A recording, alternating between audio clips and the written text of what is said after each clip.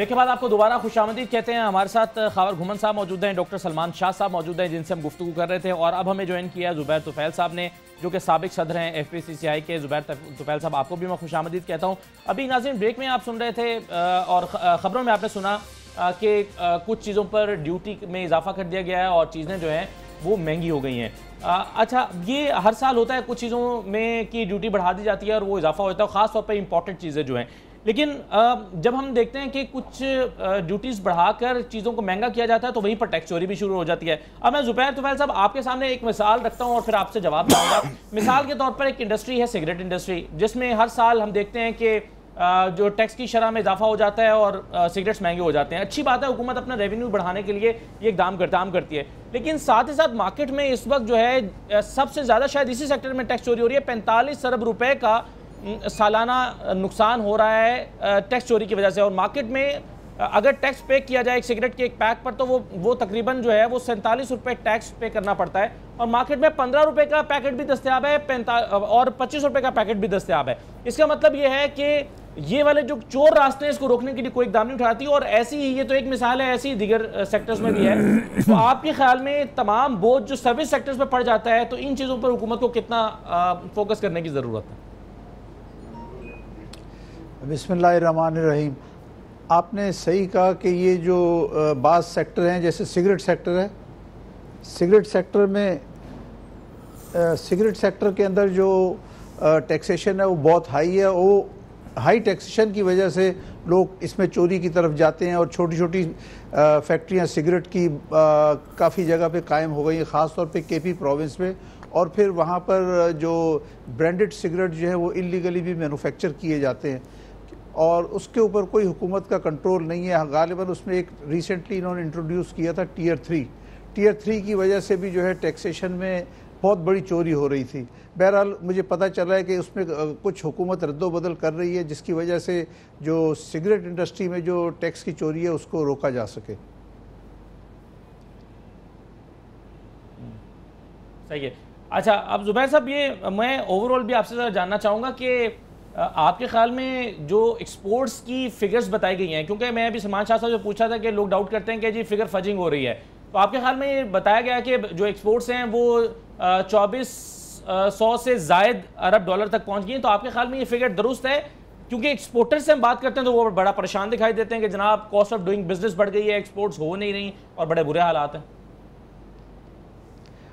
دیکھیے اس وقت جو ایکسپورٹ کا ٹارگٹ تھا اس سال جو بھی مجھے لگتا ہے تقریباً پورا ہو جائے گا۔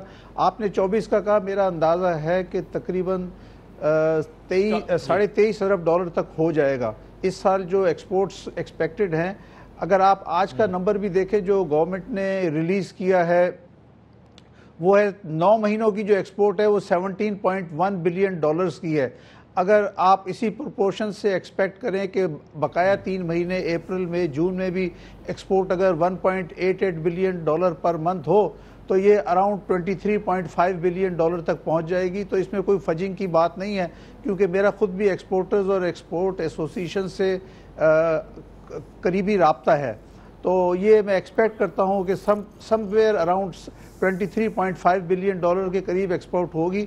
پلس دوسری بات یہ ہے کہ اب اس وقت کاٹن کی پرائسز بھی دنیا میں کافی بڑھ گئی ہیں۔ روئی کی قیمت جو ہے قریب ایٹی فور سینٹس کے قریب چلی گئی ہے۔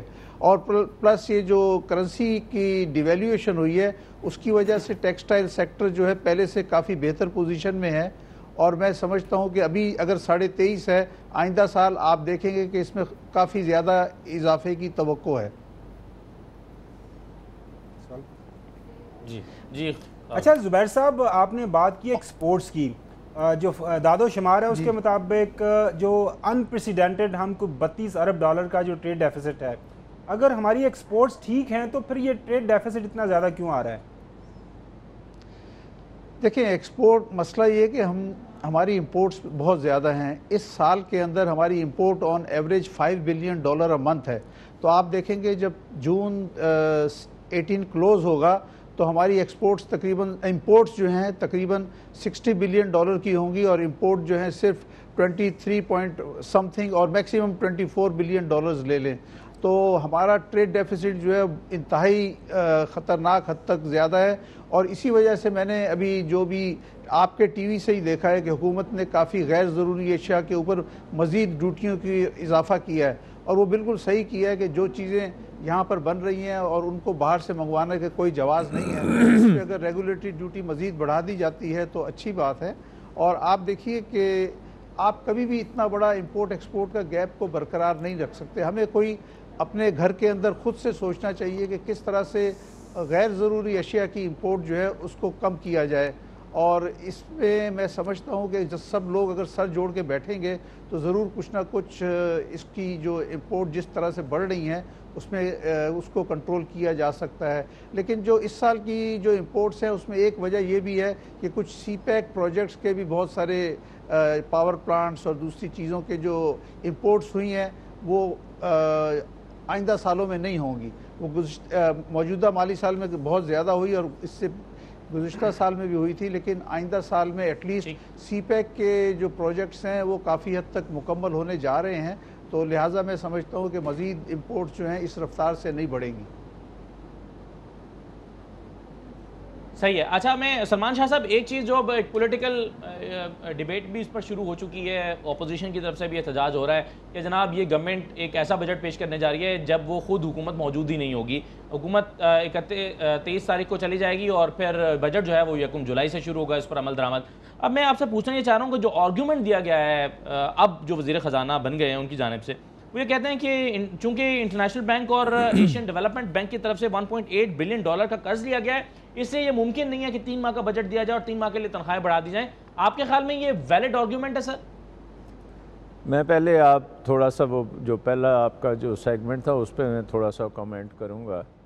اور وہ یہ ہے کہ آپ کی جو امپورٹس جی، جی، ہیں آپ نے اگر اکنامک گروتھ کرنی ہے اور اگر آپ نے انڈسٹریلائزیشن کی طرف جانا ہے تو انفراسٹرکچر کی انویسٹمنٹس بھی کرنی ہے تو آپ کی بائی ڈیفینیشن آپ کی امپورٹس پہلے بڑھیں گی۔ لیکن اس کو فائنینس کرنے کے لیے آپ کی ایکسپورٹس کو بھی بڑھنے کی بہت ضرورت ہے۔ یہ بہت امپورٹنٹ بات ہے کہ ہماری جو ہجوم ہے ایکسپورٹس کا، وہ تیئیس بلین ڈالر نہیں ہونا چاہیے، اس کو پچاس بلین ڈالر ہونا چاہیے۔ سو ہم نے اپنے ملک میں ایکسپورٹ اورینٹڈ جو کمپیٹیٹیونیس ہے، جو پروڈکٹیوٹی ہماری انڈسٹری میں ہونی چاہیے تھی، ہماری کاسٹ آف ڈوئنگ بزنس جو ہم نے دنیا میں تقریباً سب سے زیادہ کر دی ہے، جس میں سب سے بڑا رول انرجی کاسٹ کا ہے۔ انرجی کاسٹ ہم نے پورے خطے سے تقریباً چار، پانچ روپے پر یونٹ ہمارا زیادہ ایکسپینسو ہے۔ تو اس اس کی وجہ سے ہماری جو ایکسپورٹ اورینٹڈ انڈسٹری ہے وہ کمپیٹیٹیو نہیں رہی دنیا میں۔ سو ہمیں یہ سوچنا پڑے گا کہ ہم نے جو ریفارمز انرجی سیکٹر میں کرنے تھے، جو ٹیکس ٹیکسز بھی اتنے لاد دیے گئے ہیں انڈسٹری کے اوپر کہ انڈسٹری جو ہے وہ اس کو برداشت نہیں کر سکتی۔ پھر آپ کی انویسٹمنٹ کلائمیٹ کے جو انڈیکیٹرز ہیں، آپ ایز آف پیئنگ ٹیکسز جو ہیں، وہ تقریباً ایک سو بہترویں پوزیشن پاکستان کی ہو گئی ہے۔ سو کرپشن ہے مس مینجمنٹ ہے مس گورننس ہے اور اس ساری چیز کا امپیکٹ جو ہے وہ آپ کی ایکسپورٹس پہ آتا ہے۔ سو پورے ملک میں اگر آپ گورننس ٹھیک نہیں کریں گے اور یہ آپ ایکسپیکٹ کریں گے کہ آپ کا ایکسپورٹر جو ہے وہ بڑے کمپیٹ کرے گا پوری دنیا میں جا کے اپنے جھنڈے گاڑے گا تو وہ ممکن نہیں ہے۔ سو آئی تھنک یہ بہت امپورٹنٹ چیز ہے۔ شارٹ ٹرم میں تو آپ نے ڈی ویلیویشن کچھ کی تو اس کا تھوڑا سا آپ کو رسپائٹ ملے گا۔ بٹ وہ جو ڈبل اور ٹریبل کرنی ہے آپ نے ایکسپورٹس اپنے آپ کو سسٹینیبل لیول پہ ڈیولپ کرنے کے لیے، اس کے لیے بنیادی اصلاحات کی ضرورت ہے۔ اور ان میں جیسے میں نے کہا energy taxes ease of doing business investment climate and overall governance corruption کا اس میں زیرو ٹالرنس فار کرپشن چاہیے۔ تو پھر پاکستان ایک ملک بن سکتا ہے جس کو ہم کہیں گے کہ یہ فیکٹری دنیا کی فیکٹری ہے پاکستان، کیونکہ ہماری آبادی جو ہے پانچ نمبر پہ تو ہم آبادی میں پہنچ گئے ہیں۔ اور سب سے ینگ پاپولیشن ہے پاکستان کی سکسٹی پرسنٹ آپ کی پچیس سال سے نیچے ہے۔ اور ان لوگوں نے جو امپلائمنٹ ان کے لیے چاہیے، ہمیں ینگسٹرز کے لیے تقریباً تیس سے چالیس لاکھ نئے روزگار کے مواقع چاہیے۔ اس لیے ہمارے لیے بہت ضروری ہے کہ ہم اپنی انویسٹمنٹ جتنی بڑھا سکتے ہیں بڑھائیں۔ جتنا ہم ری انویسٹ کریں گے اکانومی میں اتنی ہماری کیپیسٹی بنے گی۔ اس کیپیسٹی میں نئی نئی فیکٹریاں لگیں گی اور پھر اس میں امپلائمنٹ ہوگی۔ لیکن فیکٹریاں اسی وقت لگیں گی جب یہاں پہ کاسٹ آف ڈوئنگ بزنس جو ہے وہ بہت کمپیٹیو ہوگی دنیا میں وہ کم ہوگی۔ سو ہیونگ سیٹ دیٹ اب میں آپ کا دوسرا جو آپ نے پوائنٹ ریز کیا کہ کیا یہ ایک مہینے کی حکومت ہے اور بجٹ پورے سال کا دے رہی ہیں۔ دیکھیں، یہ ایک ایکڈیمک ایکسرسائز ہو رہی ہے۔ الٹیمیٹلی تو مے بی کورٹس میں جائے گا اور وہ بتا دیں گے کہ ان کا حق تھا یا نہیں تھا۔ انفیکٹ وہ کریں گے، یہ بجٹ دیں گے، وہ بجٹ اگر میجورٹی ہوگی تو وہ اپروو بھی ہو جائے گا۔ اور اس کے بعد جو کویشچن یہ ہے کہ کیا وہ ایک مہینے کے لیے دے سکتے ہیں یا دو مہینے کے لیے دے سکتے ہیں وہ بھی بالکل دے سکتے ہیں۔ ہم نے دیکھا ہے کہ امریکہ میں جب کانگریس آپس میں پارٹیز کا جب فیصلہ نہیں ہوتا تو ان کا بجٹ جب ڈیلے ہوتا ہے تو کئی بار وہ ایک مہینے کی اجازت دے دیتے ہیں کہ اس وقت تک گورنمنٹ کو چلانے کے لیے یہ اخراجات آپ کر سکتے ہیں۔ سو ایسی کوئی یہ بات نہیں ہے کہ یہ نہیں ممکن کہ آپ ایک مہینے کے لیے اجازت دیں اور وہ پاسبل نہیں ہے۔ It is possible anything آپ کو آپ ہر مہینے آپ اس کو نہیں دے سکتے ہیں سو کہ جو آرگیومنٹ ہے کہ جی چونکہ ہم نے لون لے رکھے ہیں بینک ایشین ڈیولپمنٹ بینک وغیرہ سے تو ہم اس وجہ سے ہم تین مہینے کا بجٹ نہیں دے سکتے آپ کے خیال میں یہ والا آرگیومنٹ ویلڈ ہے میں آپ سے جاننا چاہتا نہیں دیکھیں وہ بجٹ کا ایک جو لون کا ڈرا ڈاؤن ضرور ہوگا کہ آپ نے اس کو فلانے فلانے پروجیکٹ میں خرچ کرنا ہے اور اس پروجیکٹ کی جو پروگرس ہے، اس کے مطابق وہ لون بھی آپ کا ساتھ ٹائی ان ہوگا۔ لیکن ہمیں پتہ ہے کہ لونز کی جتنی بھی وہ ڈسبرسمنٹس وغیرہ ہوتی ہیں، اس میں بھی کئی چینجز آتی رہتی ہیں۔ سو آئی تھنک کہ وہ اس وقت جسٹیفائی کر رہے ہیں۔ میرا نہیں خیال کہ ان کو اتنی کوشش کرنی چاہیے جسٹیفیکیشن کی۔ آگے چل کے بجٹ پیش کریں let's have a good discussion on the budget and then وہ جب اگلی حکومت آئے گی، اس وقت پھر ڈسکشن کر لیں گے کہ یہ بجٹ ٹھیک تھا یا نہیں تھا ٹھیک، اور اس کو کیا اس میں رد و بدل کرنا ہے؟ اور کسی کو شوق ہوگا تو وہ کورٹ میں بھی چلے جائے گا اور وہ کہہ دیں گے کورٹ میں فیصلہ آ جائے گا کہ جی یہ کر سکتے تھے کہ نہیں کر سکتے تھے۔ سو آئی تھنک کہ ایک وہ جس کو کہتے ہیں نا storm in A T cup وہ ہم نے ایک بھرپا کیا ہوا ہے اس معاملے کے اوپر بٹ آئی تھنک کہ وہ اب یہ بجٹ تو آج انشاءاللہ آ جائے گا، اس کے بعد ایک دو ہفتوں میں وہ اپروو بھی ہو جائے گا۔ اور اس سے ہمیں خاصی انفارمیشن اور انسائٹ ملے گی یہ پچھلی حکومت کی ترجیحات کے بارے میں کہ کیا، کس، کن چیزوں پہ یہ خرچہ کرنا، کر رہے تھے۔ مثلا اگر ہمیں پتہ لگتا ہے کہ پانی کے اوپر بجٹ میں پیسہ ہی نہیں کچھ رکھا تو اس کا مطلب یہ ہے کہ پھر پانی کے ذخائر نہیں بنیں گے پانی کی پانی کا سسٹم ٹھیک نہیں ہوگا کیونکہ ہمیں پتہ ہے کہ بجلی کے بعد سب سے بڑا جو اس وقت پاکستان کی اکانومی کو تھریٹ ہے وہ پانی سے آ رہا ہے۔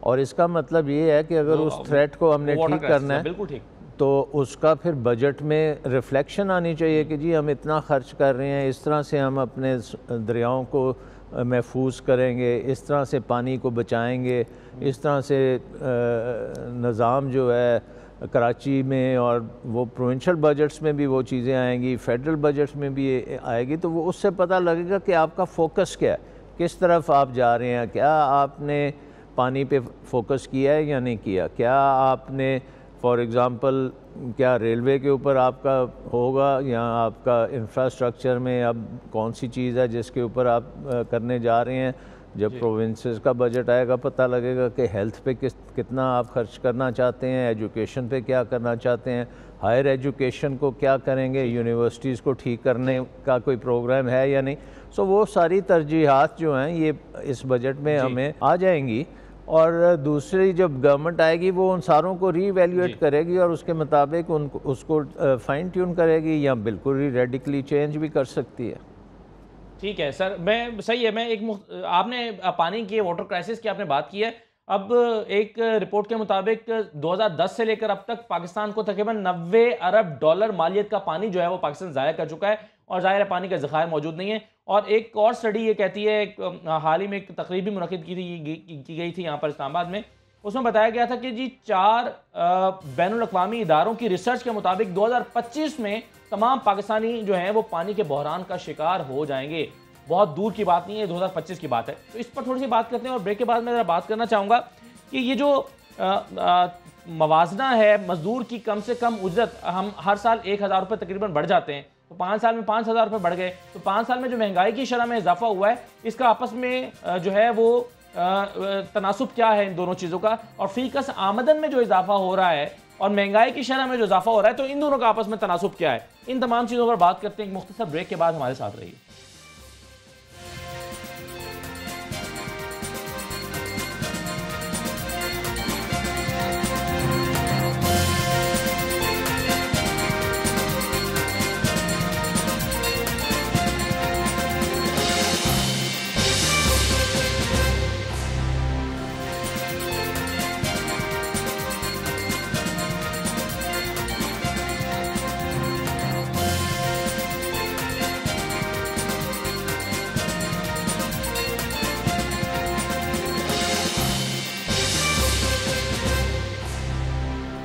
بریک کے بعد آپ کو دوبارہ خوش آمدید کہتے ہیں ڈاکٹر سلمان شاہ صاحب ہمارے ساتھ موجود ہیں، زبیر توفیل صاحب ہیں اور خاور گمن صاحب میرے ساتھ موجود ہیں۔ میں سلمان شاہ صاحب، ایک چیز آپ سے جاننا چاہ رہا تھا کہ یہ جو، اور ایک، یہ سوال میرا عام آدمی کے لیے ہے اور ہے اور عام آدمی ہی کی زبان کے اس کو بھی سمجھ آئے۔ یہ جو کم سے کم اجرت میں اضافہ کیا جاتا ہے مزدور کی، تقریباً ایک ہزار روپے بڑھا دی جاتی ہے۔ آپ کے خیال میں یہ اضافہ جو ہے، یہ مہنگائی کی شرح میں اضافے کے تناسب سے ہے یا پھر مہنگائی کی شرح میں زیادہ اضافہ ہو جاتا ہے اور تنخواہ میں بہت تھوڑا اضافہ ہو رہا ہے؟ اجرت میں بہت کم اضافہ ہو رہا ہے۔ اور اسی طرح سے جو جو فیکس آمدن میں اضافہ ہوا ہے، کیا وہ بھی مہنگائی کی شرح میں اضافے سے میچ کرتا ہے آپ کے خیال میں؟ دیکھیں، ایک تو بات یہ ہے کہ منیمم ویج جو ہے، یہ حکومت اناؤنس تو کرتی ہے، لیکن اس کو انفورس نہیں کیا جاتا۔ یہ نہیں ہے کہ جب حکومت کہے گی کہ منیمم ویج پندرہ ہزار روپیہ مہینہ ہے اور ہر پاکستانی جو کام کرتا ہے، اس کو پندرہ ہزار ہی ملے گا۔ بٹ یہ ایک اناؤنس ہو تو ہو جاتی ہے، لیکن شاید جو گورنمنٹ کے اپنے ملازم ہیں، ان کے لیے تو وہ انفورس ہو جاتی ہے۔ لیکن جنرلی اسپیکنگ بہت سے ادارے جو پرائیویٹ سیکٹر میں ہیں وہاں پہ یہ انفورس نہیں ہوتی۔ اور اس کا اصول بھی بیسکلی یہی ہے کہ آپ جو انفلیشن ہے، اس کے امپیکٹ کو کم کریں۔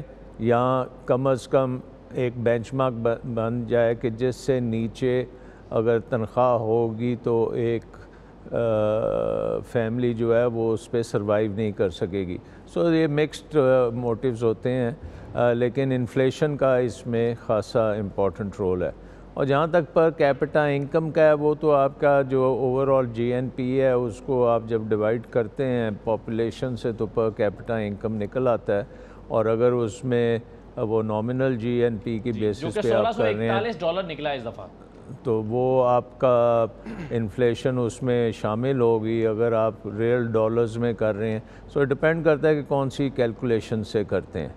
سو بٹ آئی تھنک کہ جو ہم پہلے بات کر رہے تھے پانی کے بارے میں وہ ایک بڑی امپورٹنٹ چیز ہے۔ اور جو جی، جی۔ آپ نے یہ کہا کہ ہم بیس ارب ڈالر کا پانی ضائع کرتے ہیں۔ ایکچولی اس سے ہم بہت زیادہ پانی۔ ضائع کرتے ہیں۔ ہم تقریباً جو ہے پچاس ارب ڈالر کا پانی تو ہم سمندر میں پھینک دیتے ہیں۔ اس کے بعد جو پانی ہماری نہری نظام میں آتا ہے وہ بھی تقریباً آدھے سے زیادہ جو ہے وہ راستے میں ہی غائب ہو جاتا ہے فیپریشن سے ہو جاتا ہے کچھ وہ نیچے چلے جاتا ہے اور اگر وہ نہری نظام ایسی جگہ پہ ہے جہاں نیچے سیلینٹی ہے، تو وہ پانی بالکل ہی ضائع ہو جاتا ہے۔ اور تقریباً میرے ایسٹیمیٹ کے مطابق تیس ارب ڈالر کا پانی ہم اپنے نہری نظام میں ضائع کر دیتے ہیں۔ اور جب فارم پہ بھی جب پہنچتا ہے تو وہاں بھی کیونکہ ہم فلڈ اریگیشن کرتے ہیں، اس سے جو پودے کے لیے پانی ہے وہ صرف ون تھرڈ یوز ہوتا ہے، باقی ٹو تھرڈ غیر ضروری طریقے سے ہوتا ہے۔ اور جب ہم یہ بھی دیکھتے ہیں کہ تھر جیسے علاقے ہیں، چولستان جیسے علاقے ہیں، جہاں پہ بوند بوند کے لیے ترس رہے ہیں، ہمارے بچے جو ہیں وہ سٹنٹڈ گروتھ ہو رہی ہے، وہاں پہ اموات بے شمار ہوتی ہیں بھوک اور افلاس کی وجہ سے۔ تو ہم جو نظام، نہری نظام ہے، کیونکہ ہم پانی کو بچا نہیں رہے کنزرو نہیں کر رہے ہم ان علاقوں تک وہ پانی کا نظام لے کے جا نہیں سکے۔ اور اس کی وجہ سے پورے ملک میں بہت سے ایریاز ایسے ہیں جہاں غربت بہت زیادہ ہے۔ اور اس اس غربت کا وجہ یہ ہے کہ ہم پانی اپنا صحیح طریقے سے استعمال نہیں کر رہے۔ سو اب واٹر پالیسی آ گئی ہے ایک۔ اب پچھلے دنوں میں ہی اناؤنس ہوئی ہے لیکن اب دیکھنے کی بات یہ ہوگی کہ کیا ہمارے بجٹ میں وہ واٹر پالیسی کا کوئی امپیکٹ آئے گا یا نہیں آئے گا؟ اور یہ میرے خیال میں جو میں نے آپ سے بات کی کہ اتنے billions and billions of dollars ضائع ہم کر رہے ہیں، آپ امیجن کریں کہ ایک دو بلین ڈالر کے لیے ہم آئی ایم ایف کے پیچھے بھاگتے رہتے ہیں یا امریکہ کے پیچھے بھیک مانگ رہے ہوتے ہیں یا چین سے بھیک مانگ رہے ہوتے ہیں۔ جب ہمارے پاس اپنی جو اتنے بڑے ذخائر ہیں ان کو ہم ویسٹ کرتے ہیں اور اپنا کشکول اٹھا کے دوسری دنیا کے پیچھے پھر رہے ہیں۔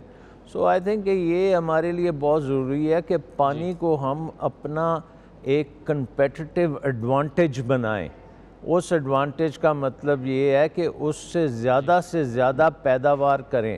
ہمارا جتنا پانی ہمارے دریاؤں میں آتا ہے اس اتنا پانی اگر چین کے دریاؤں میں سے آ جاتا تو وہ تو ہزاروں بلین ڈالرز کیا وہ اس سے فائدہ اٹھا سکتے تھے۔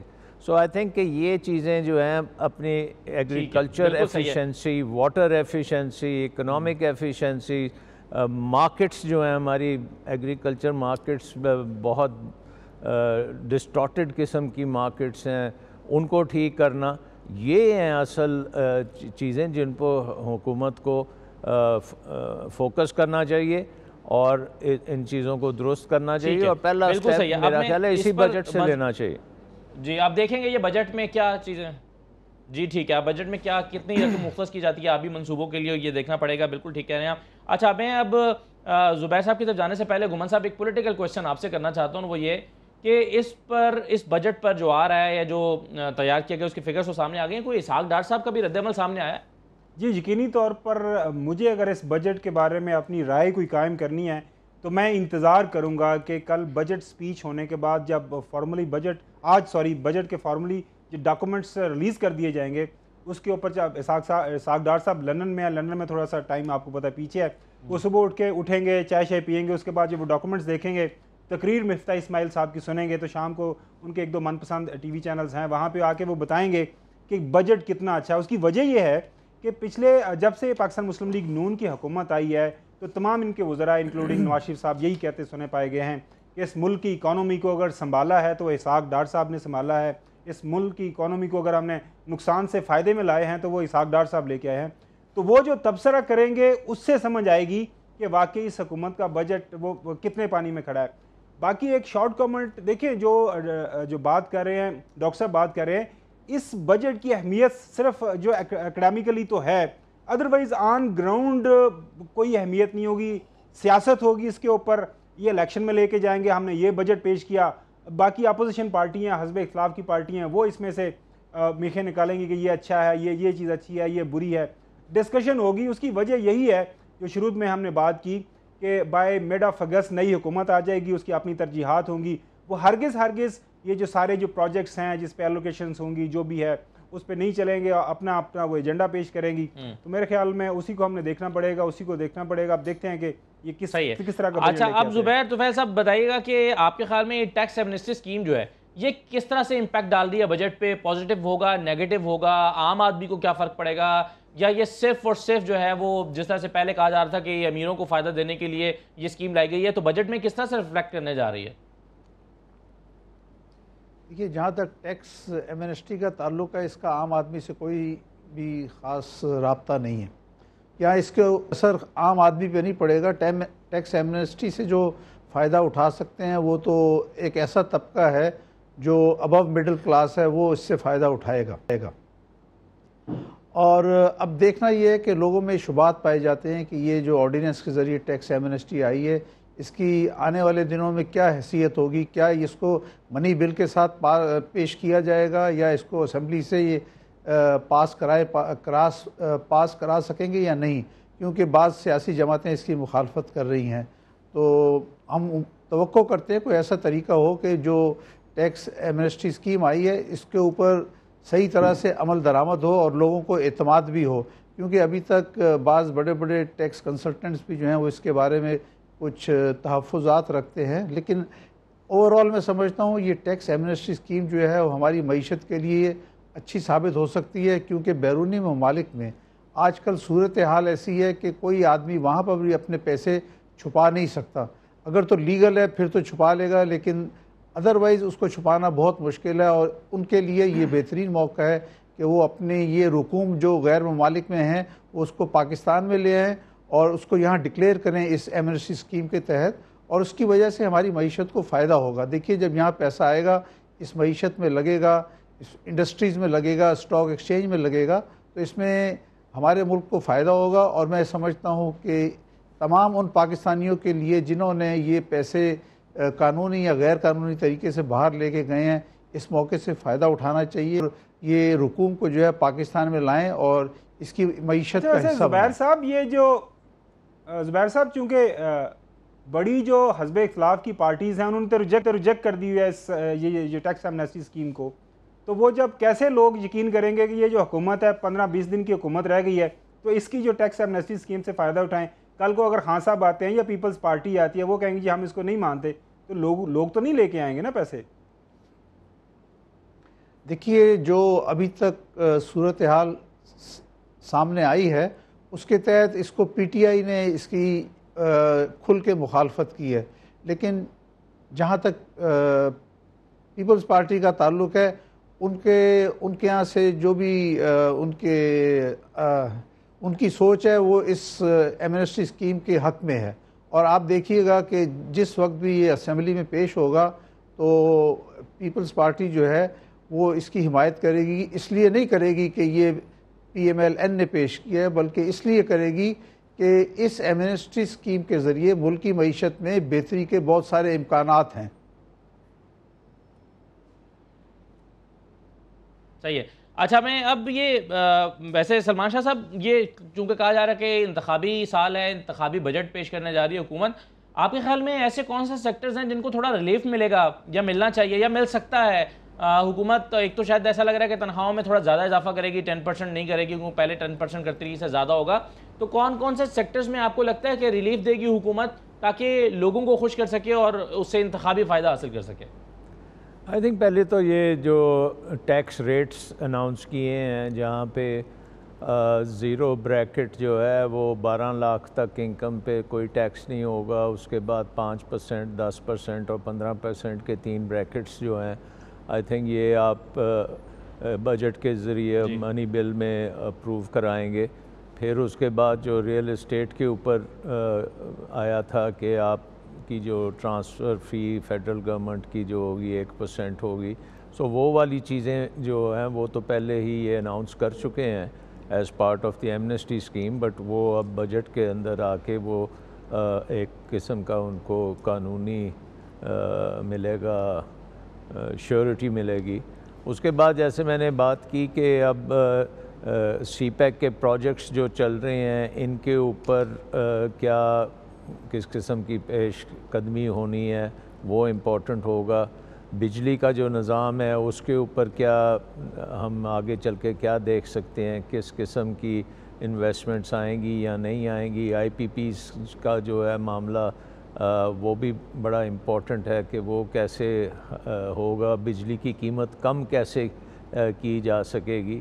سو آئی تھنک یہ یہ چیزیں ساری آئیں گی اس بجٹ میں اور کم از کم ڈسکشن تو اس کے اوپر ہوگی۔ اور جو جو آپ کا وہ پی ایس آپ کے خیال میں یہ کتنا بڑا چیلنج ہے؟ ڈاکٹر صاحب یہ جو سرکولر ڈیٹ تقریباً ایک ہزار ارب تک پہنچ گیا ہے۔ آپ کے خیال میں یہ کتنا بڑا چیلنج ہے سرکولر ڈیٹ اس وقت گورنمنٹ یہ تو بہت بڑا چیلنج ہے نا۔ وہ اس کی وجہ یہ ہے کہ یہ تو ایکچولی آپ کا فزیکل خسارہ ہے نا۔ اس کو آپ چھپا کے رکھا ہوا ہے آپ نے۔ الٹیمیٹلی تو اس نے بجٹ کے اوپر ہی آ کے گرنا ہے۔ تو جب آپ نے اس سرکولر ڈیٹ کو پے کرنا ہے تو آپ نے وہ اپنے بجٹ کے ذریعے جب پے کریں گے تو فزیکل ڈیفیسٹ کا جو بھی آپ ٹارگٹ لگائیں گے، وہ آپ سمجھ لیں کہ اس میں کم از کم ایک دو پرسنٹ اور ایڈیشن آپ کو کرنی پڑے گی۔ پھر آپ کے جو یہ سبسڈیز ہیں، بہت بڑی بڑی سبسڈیز ہیں، جس میں آپ جو ایگریکلچر کو بھی سبسڈی دے رہے ہیں۔ پھر آپ یہ سب سے بڑی تو پبلک سیکٹر انٹرپرائزز کے جو حالات ہیں جس میں پی ایس سی جو ہے پبلک سیکٹر انٹرپرائزز کے جو لاسز ہیں وہ پہلے میں یہ خبر یہ امپورٹنٹ ہے کہ پبلک سیکٹر انٹرپرائزز کے جی۔ جو لاسز ہیں ان کے اگر جب ریل لاسز ہم دیکھیں گے اسٹیل مل ہے پی آئی اے ہے یا دوسرے تیسرے ہیں جنہوں نے آ کے at the end of the day انہوں نے گرنا بجٹ کے اوپر ہی ہے تو وہ بجٹ میں کبھی نہ کبھی تو اس کو آپ کو جسٹ کرنا پڑے گا نا۔ ابھی تک تو آپ نے اس کو سسٹم کے اندر کہیں دبا کے رکھا ہوا ہے اور اس کی وجہ سے سارا سسٹم جو ہے ڈس فنکشنل ہوا ہوا ہے۔ اسی طرح یہ جو ریفنڈز ہیں ٹیکسٹائل انڈسٹری کے ریفنڈ ہیں۔ دوسری انڈسٹری کو جو ٹیکسز کے اوور پیمنٹس کرتے ہیں اور ان کے ریفنڈز ہیں۔ اس کا بہت بڑا ایشو ہے اور اس میں آپ دیکھتے ہیں کہ بہت سی آپ کے ایکسپورٹرز جو ہیں ان کے کہیں کہیں ارب روپیز جو ہیں وہ ریفنڈز میں پھنسے ہوئے ہیں۔ ورکنگ کیپٹل ریکوائرمنٹس کہیں کی کہیں پہنچ گئی ہیں اس چیزوں کے لیے۔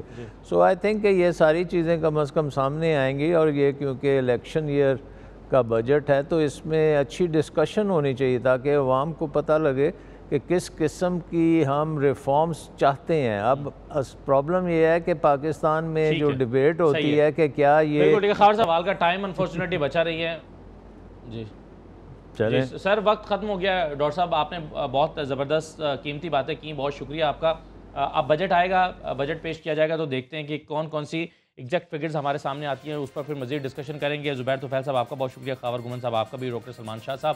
مجھے فی الحال اجازت دیجیے بجٹ دیکھتے ہیں اور پھر ٹرانسمیشن کا سلسلہ جو ہے وہ نائنٹی نیوز پر جاری رہے گا۔